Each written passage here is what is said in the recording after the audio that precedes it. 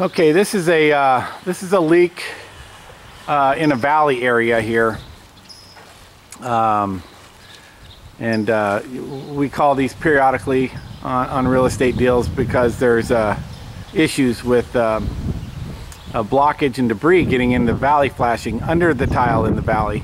Uh, commonly mistaken for, you know, by a lot of people thinking that the the debris is on the on the on the top side of the valley. Now the real problem is under the valley, and this is kind of what we have to do to to uh, to remedy the situation. You have to basically remove all the tile uh, surrounding or or covering that valley area, as they've done here, and uh, to to get down to where all the debris blockage is, has occurred.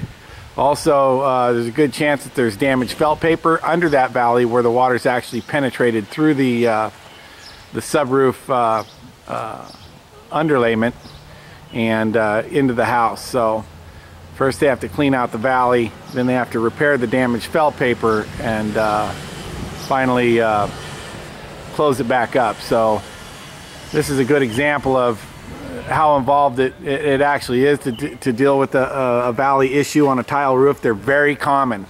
Uh, especially this is this is a it's called an S tile it's kind of a Spanish type of uh, tile.